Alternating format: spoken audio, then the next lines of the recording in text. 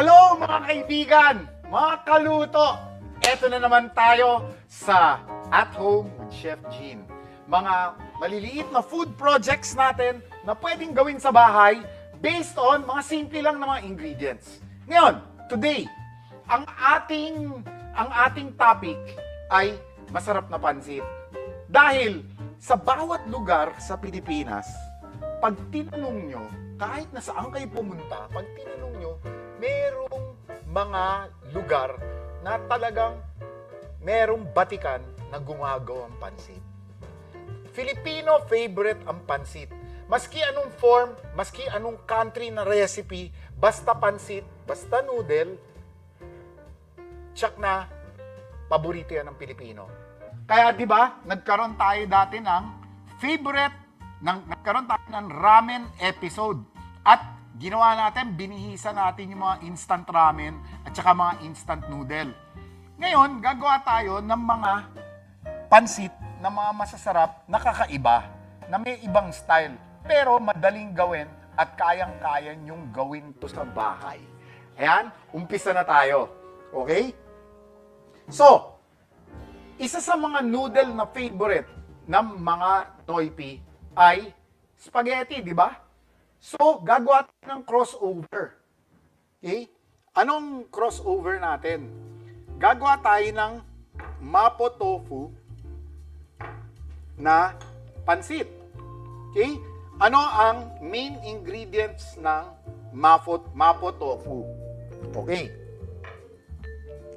Siyempre, lahat ng tao gusto giniling. Ayan oh, giniling. Kung ano giniling na baboy, makakabili ka kahit saan. Tofu. Okay. Tapos, carrots at green and red pepper na chop. Yan. Okay? Nga pala, dahil inter- mga kaibigan natin sa Masflex, pag tsatsagaan daw yung i-edit yung mga recipe, pwede niyong panoorin to live stream sa FB at sa YouTube. Sa Kumu rin. Pwede rin yung balikan yung mga procedure ko pag pinanood nyo sa YouTube. At sa susunod, magkakaroon na rin ng mga posting ang Masflex, ki- ang Kitchen Pro ng Masflex at lalagay nila itong mga simpleng recipe natin na gagawin nyo. So, eto, marami kayong pwedeng balikan itong mga simpleng recipe ko at napakadali. O, kailangan natin ng chili puree. Siyempre, dahil Asian to, soy sauce. Okay. Tapos, eto, sesame oil. So, simple lang na lasa to. Garlic, salt and pepper, pero ito ang magbibigay buhay doon sa pagka-Japanese niya. Ito, dashi. Pwedeng optional to. Kung wala kayong paggagamitan, ah, kung wala, wala ito, pwede yung ah, damihan na lang yung ating ah, chili sauce. Okay? Sriracha to, no? Okay? O kaya yung chili garlic sauce. Pwede rin. Or yung Korean gochujang. Okay? Ang importante, meron tayo ng giniling, tofu, carrots, red pepper, at sesame oil. Paglalaruan lang natin yan. Ito, gigisa lang natin. Tapos itatapping natin, ito yung white noodle natin. Nabili ko to, Asian na white noodle to. Niluto ko na to, pero may adjustment pa ng konti para pag sinausaw natin sa hot water,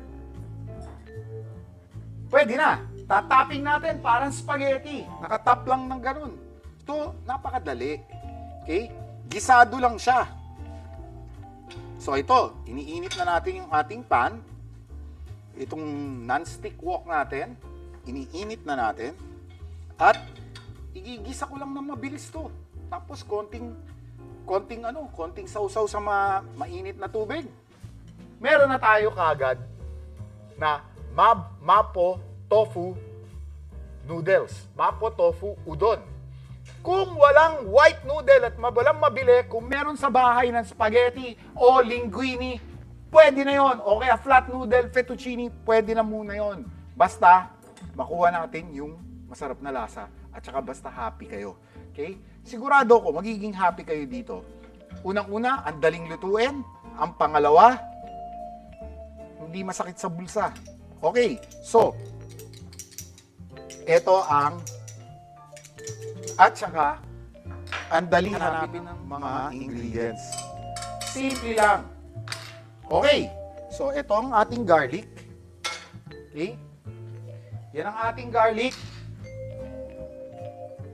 Hindi natin masyadong tutustahin. At ito ang ating red and green pepper. Okay. Tapos, ito ang ating pork. Giniling na pork. Super simple. Kung wala kang giniling, di kuha, lang ng, kuha ka lang ng magaling na kutsilyo. Kuha ka lang ng mga magagandang kutsilyo. Yan. Okay? At, chopin. Pwede pa rin. So, kahit na buo yung pork nyo, na mga, ano, yung mga leftover na pinaglutuan nyo, okay pa rin. Okay, ito yung carrots. Oh. Lagay natin yung carrots para mas maganda yung pampalasa natin. Okay? Yan na. Ito ang ating pork at patuloy natin ginigisa. Mabilis lang to. Okay? So, panoorin lang yung kagad ng ano, stick. Focus lang. O, pakishare lang please yung mga kaibigan natin sa live stream sa FB at sa sa FB at sa ating ano sa ating ah, YouTube at sa ating Kumu, paki-share lang sa ating mga kaluto at mga mahihilig sa pagkain at mga mahihilig mag-stay home muna. Thank you, DJ Jello Obrero. Si Jello Obrero talaga yung kaibigan natin, taga Cagayan de Oro. Andito siya at every Sunday nagpapadala siya ng gifts. Maraming maraming salamat, DJ Jello. At si DJ Jello, alam ba ninyo? Nagpadala pa ng guyabano yan. Nagpadala pa ng halaman ng guyabano, tinanim ko na, Chef Jello. Ang galing. Kasi, magaling yung ano eh, farm nursery nila, nila DJ Jello. Bukod na sa DJ, dati, natikman ko pa pizza niyan. Meron yan napakasarap na pizza dahil chef si ah Chef Jello sa ano, galing Italy pa. Okay? So, eto. Eto ang, sige, lagay na muna natin itong ating chili garlic puree. Sabi ko nga sa inyo, pwedeng sriracha. Okay? Para tuloy-tuloy ang pagka-spicy niya. At itong hondashi. Okay? So, ito yung hondashi natin. Pampalasa yan, pampasarap yan. At ating soy sauce. O yan. Patapos na yan. Okay. So, itong soy sauce natin,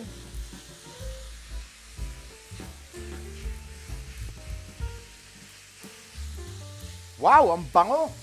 Lagyan na natin ng sesame oil. Hindi ko pinanggisa sesame oil ha. Ang sesame oil, pang-flavor lang yan. Okay? Huwag na natin gamitin pang gisa. Un- Unang-una, ang mahal. O, lagay na natin yung ating tofu. O, ayan. Pagkalagay natin ang ating tofu, ito ang double A powder. Ang aking pinamamagic. Okay? So, ilalagay natin yan sa, lagyan natin ng tubig. Mix natin yung double A. Okay? Mix natin. Okay? Ito yung aking panghalo na kutsarita. At, there you go! Mix na natin to.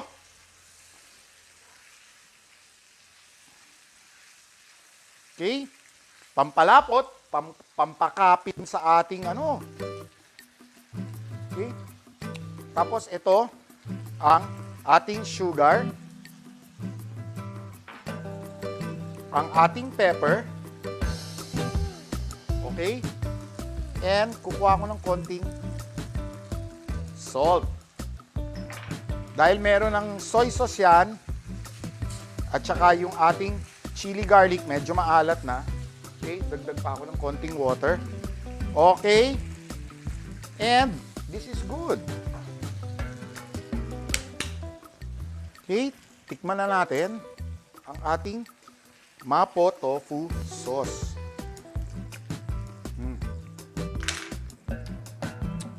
Sarap. Masarap. Ngayon. Okay? So, ito ang ating white noodle.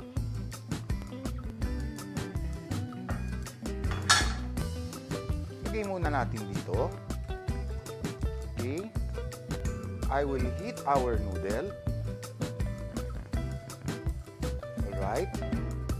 And pag-heat natin ang ating noodle, tapos na. Nilagay ko na sa boiling water. O, mainit na yung noodle natin. Mainit pa yung ano natin. Mainit pa yung ating ah, sauce. Okay? And we will put this on a nice bowl. And tap natin ang ating mapo tofu. Okay? Giniling. Okay? Soft tofu. Chili. Sesame oil. Hondashi. Oh, ayan na. Meron na tayong noodle, meron na tayong masarap na pansit. Okay? Oh, sige.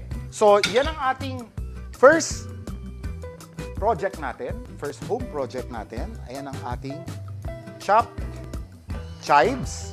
Napakasarap ilagay niyan sa pansit, syempre. Okay? So, may Asian noodle tayo. Gawa tayo ngayon ng Pinoy naman. Pinoy na pansit. Pinoy na style sotanghon. Oh, gawa tayo niyan, ha? Okay? Ito ay gagamitin ko uli.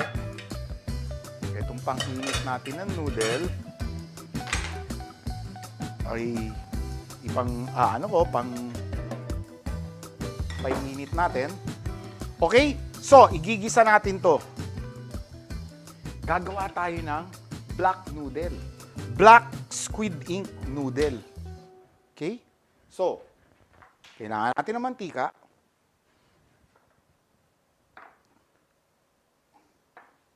Okay? Here's our oil. Pero medyo bitin. Dagan ko lang konting-konti pa. Yan.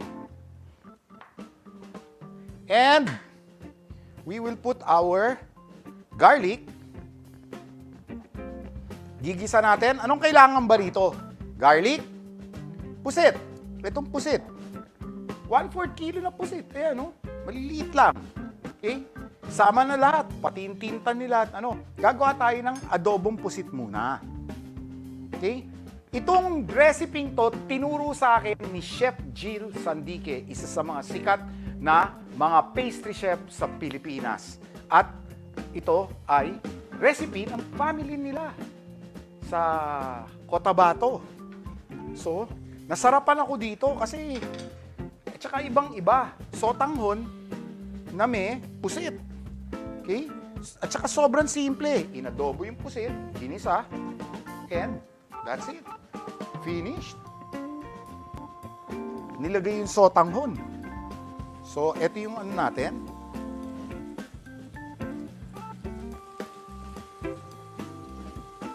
Here is our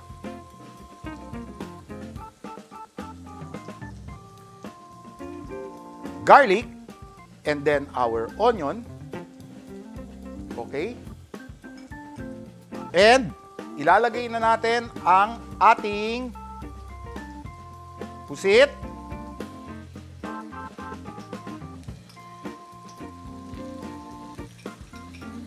Sama na ang kanyang juice o sabaw. Okay? Konting halo lang na ganyan. At ilalagay na natin ang ating patis and suka. O, lagay natin yung patis.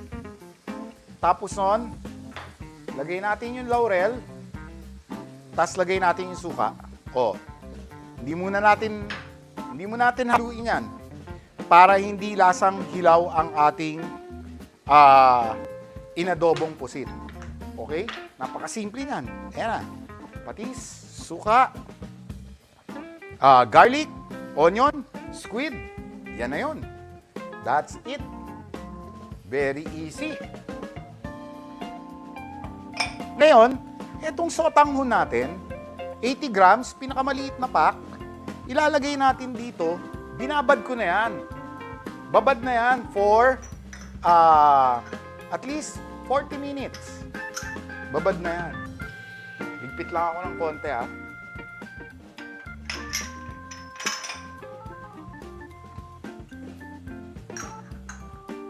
Okay, anyway, habang nag-aadobo yung pusit natin,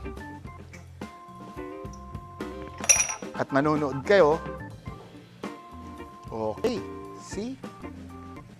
Okay, pwedeng mas malaki yung pusit, i-slice lang nga ninyo. Tsaka, syempre, mas maitim yon kasi mas maganda ang ah, ink sacs nung ating ah, squid. Kasi mas malaki yung ink sacs, so mas maitim ang kalalabasan ng ating inadobong pusit. Okay? Pero black squid ink, sotanghon to. Okay, tikman natin maayos na yung at hindi hilaw yung suka. Tsaka hindi masyado maraming suka to, tamang-tama lang kasi ayaw naman natin ng pansit na maasim, di ba? Okay. Medyo ano pa, hilaw pa yung suka natin. So, hindi ko pa rin hahaluin yan. Hayaan ko lang. Okay? So,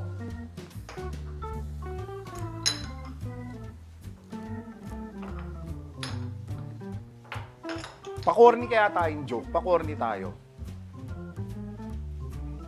Okay? Kung marunong kayo ng Ingles, okay, translate nga nyo sa Tagalog. Ah, grandfather, here are your noodles. Oh, here are your noodles, grandfather. Oh, alam ba nyo sa Tagalog yun? Oh, ito na. Pansit molo, tapos. Okay? Sa Chinese pala yun. Okay, so ito na. Corny. So ito na ang ating sotanghon. Binabad na. Nilagay na natin dito. At sisipsipin ng ating sotanghon yung lasa ng ating inadobong pusit.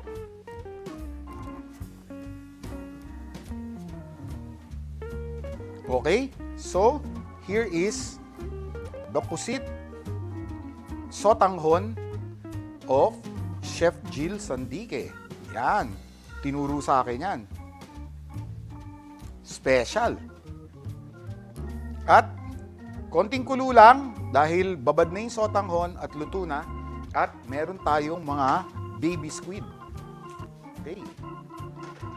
Meron tayong baby squid.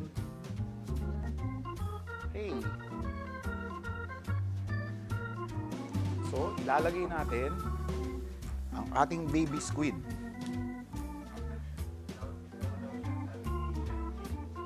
Oh, ayan si Chef Jill. Jill, ayun yung turo mo sa akin na ano, na sotanghon. Sarap na sarap ako dito eh. Ang sikreto lang dito ay huwag niyong dadamihan yung inyong suka. Ha? Yung tama lang na mag, magiging adobado siya pero hindi siya maasim para okay yung pasok at hagod ng sotanghon. At saka ako, kung ako masusunod, gusto ko mas malaki ng konti ng mga pusit, yung mga ganyang kalalaki. Mga kalahating, mga kalahating dangkal. O, di ba? Mas malaki ng konti na squid kasi mas maitim. So, mas black ang ating squid sotanghon. Okay? Thank you very much, Jill, for this recipe. Ito ay nakikita nyo, itong mga recipe to, yung iba, nasa ah, nasa mga libro ko, yung mga little cookbooks ko na nasa National Bookstore. Yan. O, ayan. O, lagyan mo natin ng ano. Actually, pwede nyo lagyan ng wansoy, pwede nyo lag- ilagyan ng ginchay. Kayo bahala. Chopped ano, onion chives. Okay. Ayan ang ating pansit sotanghon na may pusit. Okay?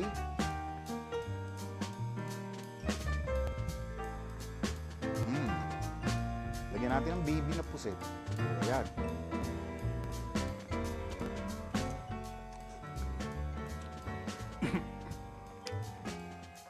mm, mainit.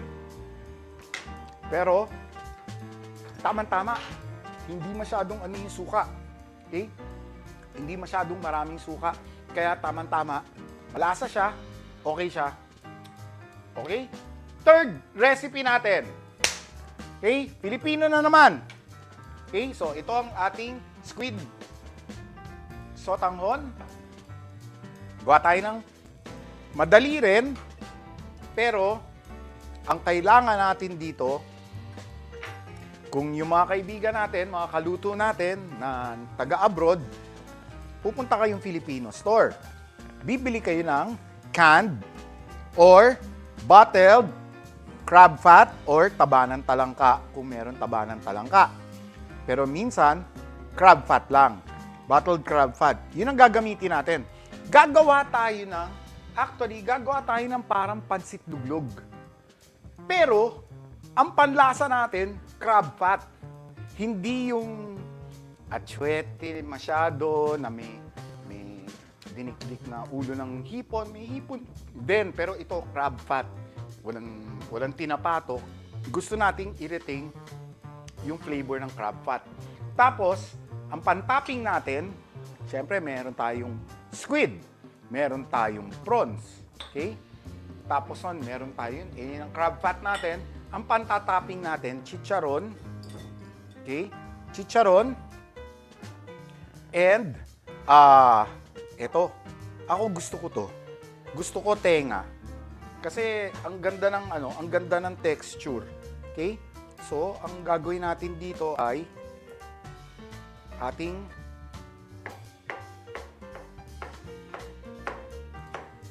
puputulin ang tenga. Pinakulo, na, pinakulo ko na to kaya medyo malambot na to ang dating. Oh. Ayan. Okay, so pantatapping natin. Hindi naman marami. Konti lang, okay na to. Basta magka-texture kasi ganda ng ano eh, crispy ang texture ng mm, tenga. Sana may tokwa pa tayo. Mm. Mm. Okay. So, gigisa tayo uli. Bukod na sa paggisa natin, ito ang pansit natin, yung ginagamit sa palabok o kaya sa malabon.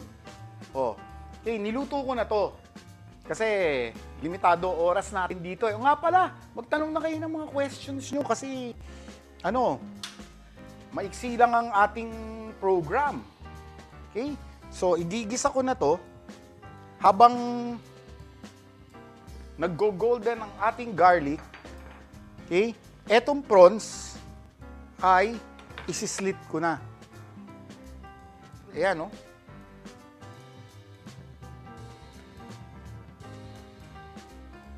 Okay, so ito, isislit na natin yung ating prawns. Yung nagtatanong ba? Okay. So, ito yung prawns natin. Kung taba ng ulo.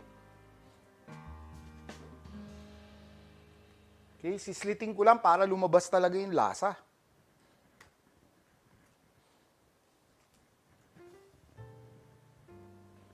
Okay, kailangan mabilis kasi baka mamaya masunog yung garlic natin. There you go. Okay? So, ayan na. Here we go. At ang next natin ay sibuyas. So ito yung garlic natin, ay yung sibuyas. Mamaya, iikot natin yan. Meron na rin akong blanch na squid. Pwede rin yung maliliit na squid, pwede yung malalaking squid. Basta kung anong pusit ang meron. Actually, kahit wala eh. Basta meron tayong hipon, tsaka meron tayong pork. Kung wala kayong tenga, pwede naman ng ano, pork meat lang. Yung mga re- reta-retaso pag nagluluto at nagigisa, oh. Ayan. So, ayan. Garlic, onion. Medyo mag-gold na ng konti. At ilalagay ko ang ating boyba. Ang tenga. Okay? And, paglagay natin ang ating tenga, ilalagay ko na rin yung ating prawns.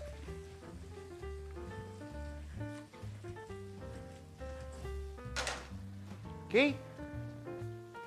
O nga pala, ito yung ating atsuete oil. Gamit tayo ng konti. O, hindi coloring ang atsuete ah. Ang atsuete, pag tumama, tumama yan doon sa mga rekado, nag-iiba. Lumalabas yung floral at saka woodsy aroma. So hindi hindi lang hindi lang kulay-kulay yan. Sabi ng iba coloring lang, hindi totoo 'yun.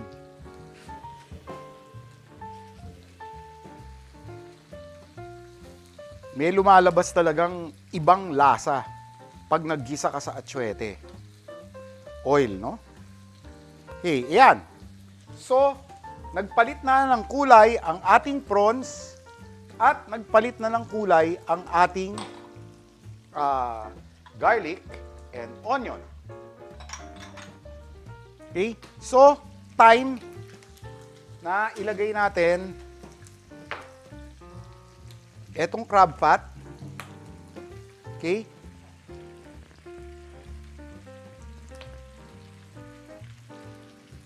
Okay, magtanong na kayo ng questions. Mukhang wala nagtatanong ng questions. Mukhang nadadalian kayo sa sa mga turo ko ah. Okay. So, ayan yung crab pot. Lagay na rin natin yung blanch na squid. Okay. So, squid rings. Tapos, lagay natin yung ating patis. Pepper. Lagyan natin ng salt. Okay? Pinch lang ng sugar. Yan. Oh, yan na.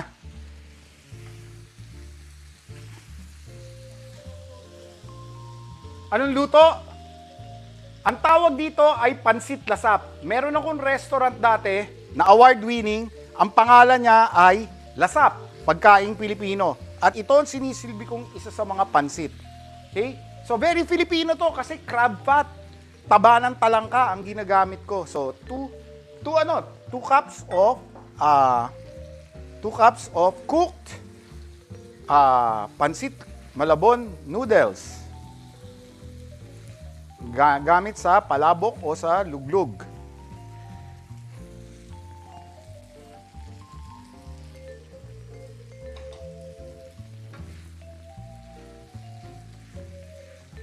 So itong, ang tawag dito, pansit lasap.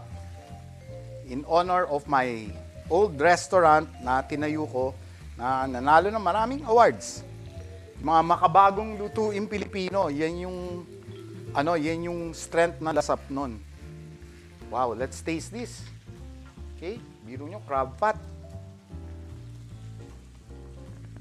Okay. Tikman natin.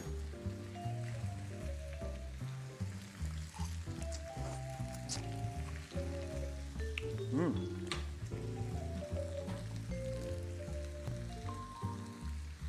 Konti pan salt. Okay. and some patis. And that's it. Tapos na ang ating, ano, di ba ang simple? Totos mo lang. Fe-flavor mo lang ng noodle. Ganon din naman ang mga, ano, eh, mga style ng Vietnamese at Thai eh. Pero ang flavoring natin ay unique kasi taba ng talangka. So, yan ang ating flavoring.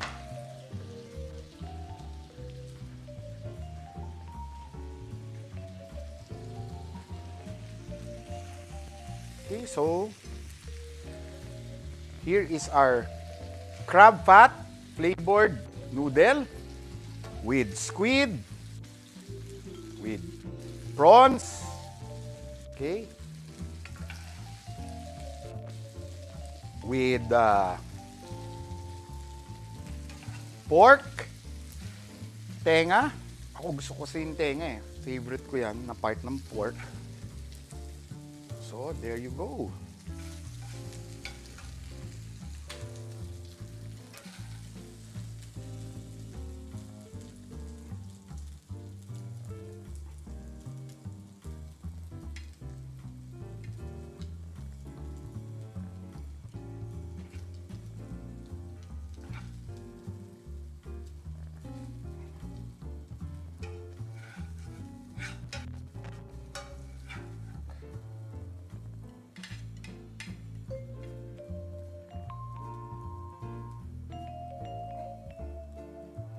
Right.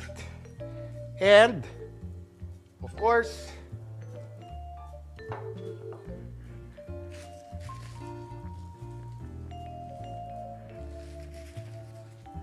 last touch natin ay chicharon.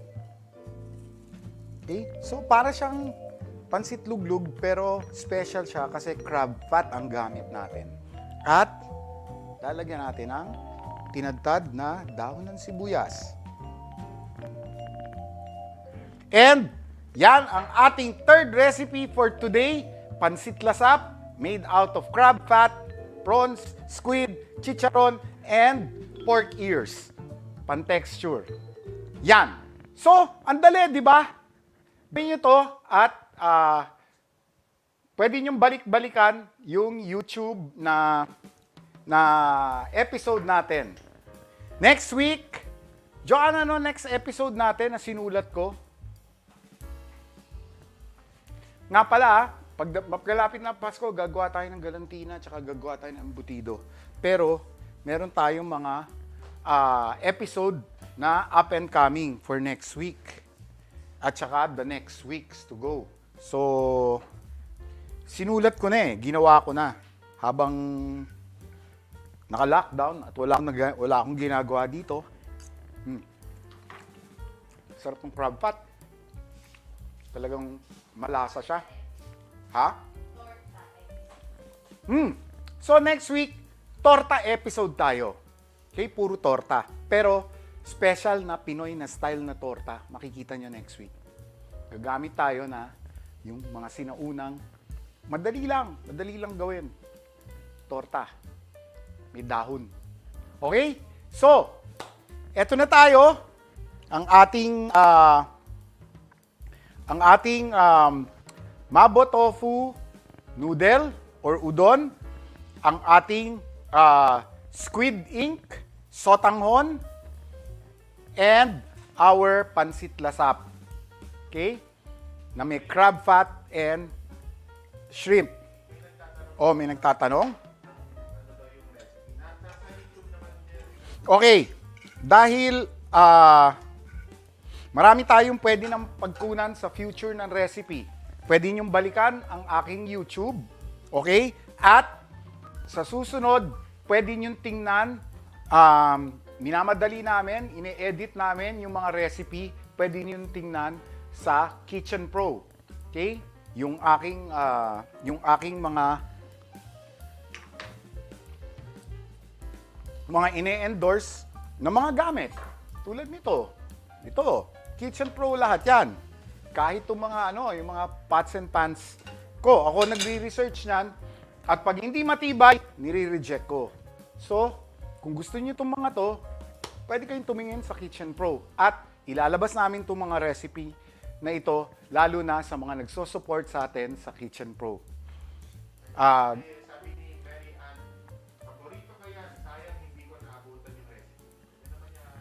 pwede mo balikan, Marian, nasa ano, nasa YouTube. Kaya nga, ano eh, nililimit ko lang ang recipes, hindi tulad ng mga unang episode ko, naubod ng daming recipe ginagawa ko at minamadali ko. Mas maganda at mas maganda ang feedback pagkausap ko kayo at may mga nasasabi kayo o nagkakapagtanong kayo ng questions. Kaya balikan mo to sa YouTube. Mamayang gabi lang o bukas na bukas lang, nandiyan na yung recipe kung nahuli ka.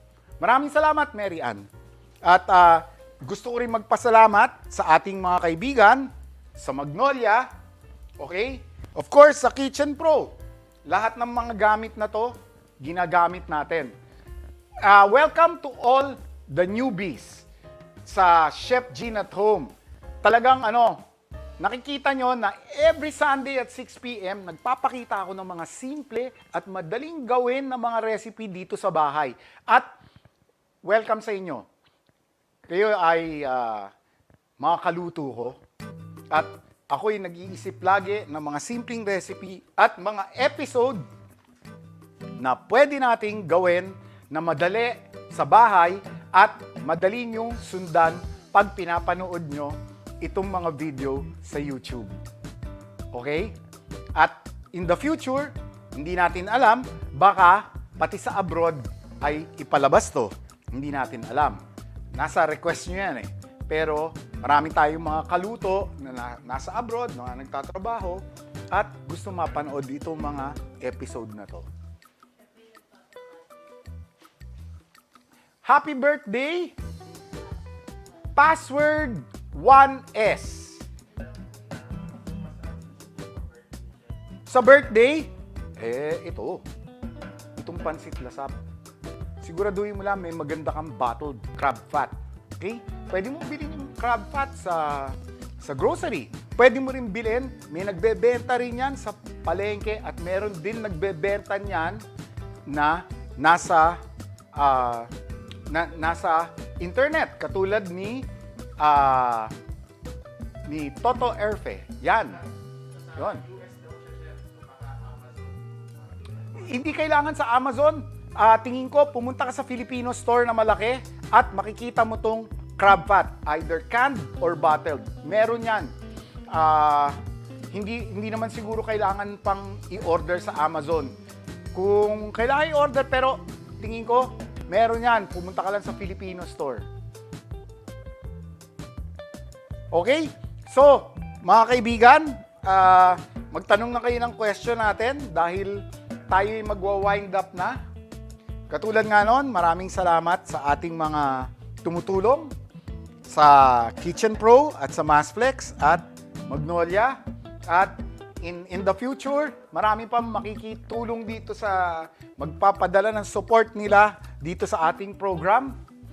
Hopefully, ah, mas magiging maganda ang mga gamit natin na mga ingredients. Okay? At ah, panoorin lang nyo at abangan nyo.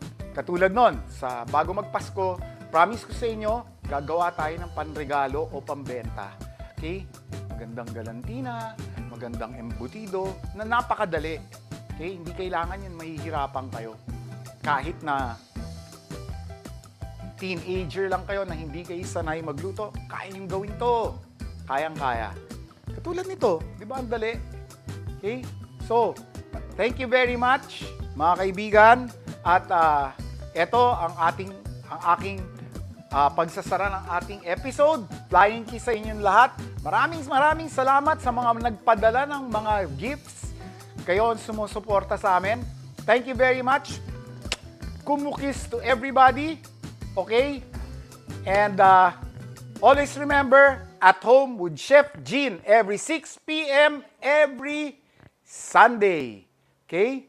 So, feel at home with Chef Jean. Thank you and bye-bye everybody. Enjoy your pansit this whole week.